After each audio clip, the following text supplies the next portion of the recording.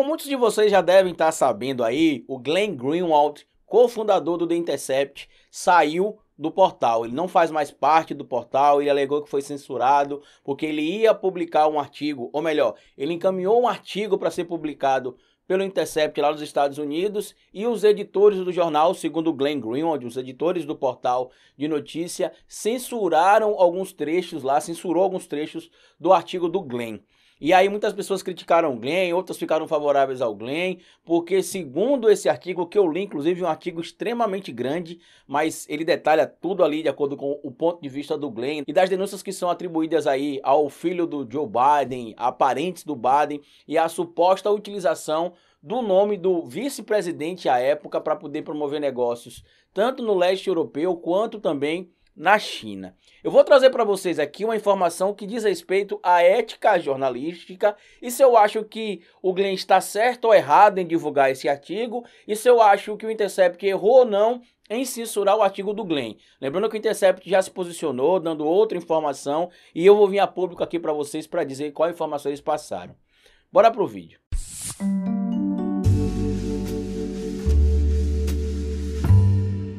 Pois bem, meu povo, aos 45 minutos do segundo tempo, surge aí um artigo bombástico do Glenn Greenwald, onde teriam supostas provas de e-mails trocados entre o Hunter Biden, que é o filho do Joe Biden, outros parentes dele, com líderes empresários de regiões do leste europeu e até mesmo da China, onde ele supostamente usaria aí a influência, entre aspas, do pai, que lhes traria algum benefício financeiro, tanto para ele quanto para alguns parentes. Essa informação foi divulgada inicialmente pelo New York Post, que não é o New York Times. Outros portais buscaram saber informações e, segundo Glenn, omitiram as informações, porque, segundo denúncias, o filho do Joe Biden deixou o computador para poder fazer manutenção e o técnico teve acesso a alguns e-mails. E aí o Glenn divulgou as informações que supostamente ligaria realmente é, o Biden ou o Joe Biden de alguma maneira a essas denúncias e acusações que com frequência têm sido feitas pelos republicanos, em especial pelo Donald Trump.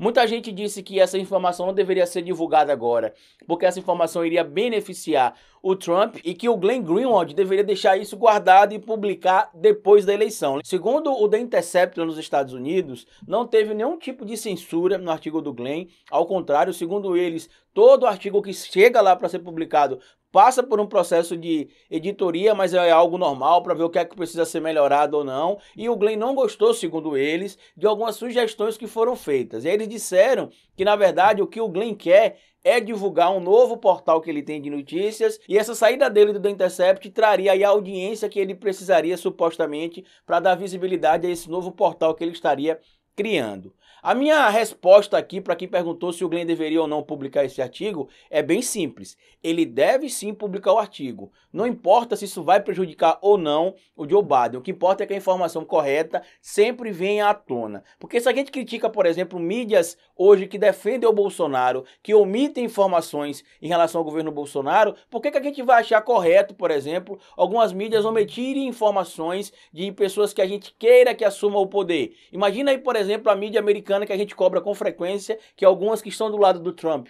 omitem algumas informações. Imagina a gente falar, não, tá certo, omitir sobre o Trump pode, mas sobre o Joe Biden não pode. E na verdade tem de colocar as informações dos dois lados. Esse canal aqui mesmo já falou algumas coisas sobre o Joe Biden. Eu já trouxe o André Jacobino aqui, meu amigo do canal A Nova Máquina do Tempo. E a gente trouxe, por exemplo, algumas acusações atreladas ao Biden, como por exemplo, acusações de possível caso de estupro aí, ou de possível caso de abuso sexual atrelado ao Biden. Tem também uma denúncia de alguns, algumas pessoas ligadas a a família do Biden, que alega que ele tem um problema de demência e que isso está se agravando com o passar do tempo. E o Trump, inclusive, já chegou no passado recente utilizar isso contra o próprio Biden. Tem a questão da lei de crime também dos Estados Unidos, que colocou na cadeia centenas de pessoas pretas e que o Biden acabou sendo prejudicado, de certo modo, durante um período aí na campanha, porque isso voltou à tona. Então a gente tem de trazer as informações corretas. A gente não pode manipular o público, a gente não pode manipular a informação. Eu não sei se vocês lembram, mas há um tempo atrás, eu fiz um vídeo aqui denunciando o jornalista Caio Rocha, que já trabalhou na Jovem Pan, trabalhou na Band FM, na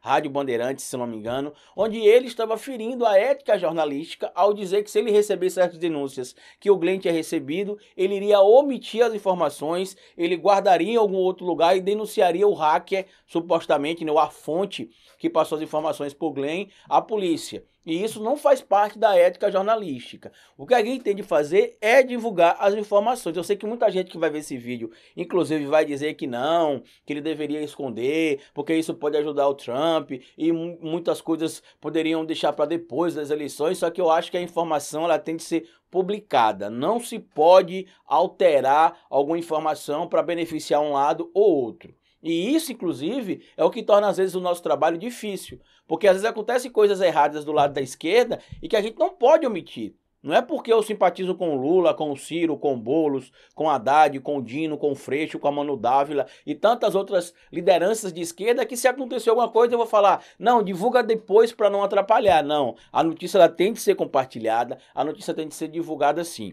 Se é uma estratégia de marketing ou não do Glenn, eu não sei dizer para vocês, mas o que eu posso dizer para vocês é que a notícia tem que ser compartilhada. E se a consequência, infelizmente, for a eleição do Trump, aí a gente tem de cobrar o Biden, tem de cobrar os próximos indivíduos que vierem concorrer aí, mas a imprensa, ela tem de fazer sempre o papel dela. Ela tem de fazer sempre o papel de divulgar as informações. Eu, particularmente, não acredito que esse artigo do Glenn Greenwald deva alterar o resultado das eleições nos Estados Unidos, né, do resultado final, que a gente vai começar a saber na terça-feira, mas é óbvio que isso vai trazer novas cartas, digamos assim, para o jogo da política lá nos Estados Unidos da América. Eu queria pedir a vocês que comentassem aqui embaixo se você tivesse informação bombástica sobre o Ciro Gomes ou sobre o Lula e que poderia fazer, por exemplo, com que o Bolsonaro permanecesse no poder por mais alguns anos. Você divulgaria ou você esconderia essa informação?